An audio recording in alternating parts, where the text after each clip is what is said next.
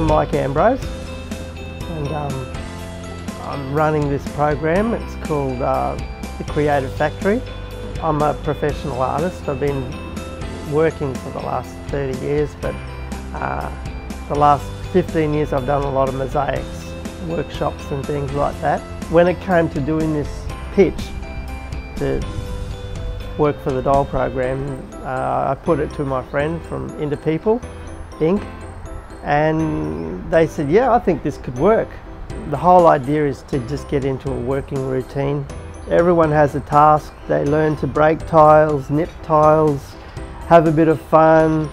Um, basically, producing something with your hands. It's creative and you don't have to be an artist, but just getting into finishing something like this that's actually um, you can all be part of something.